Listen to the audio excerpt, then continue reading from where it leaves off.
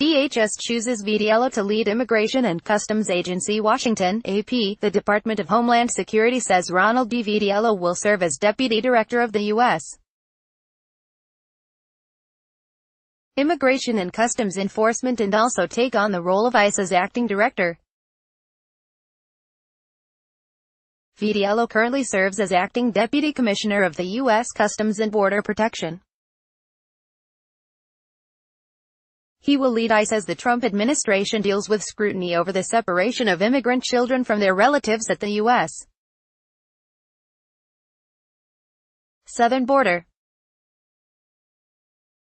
Vitiello is a 30-year veteran of law enforcement and was tapped to lead ICE after President Donald Trump's pick, Thomas Homan, took himself out of the running and said he'd retire this summer. Homan has been acting director since Trump took office and has overseen a surge in deportation arrests while advocating for Trump's crackdown on illegal immigration. Copyright Copyright 2018 The Associated Press All rights reserved. This material may not be published, broadcast, written or redistributed.